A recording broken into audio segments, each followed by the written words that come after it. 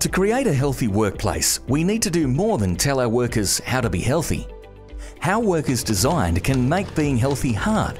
For example, access to healthy food, high workloads, and sedentary work. Think about the big picture and all the factors that impact healthy and safe work. Ensure leaders and policies support workers' health. Talk to your workers about their ideas. And design your work and work environment with health in mind.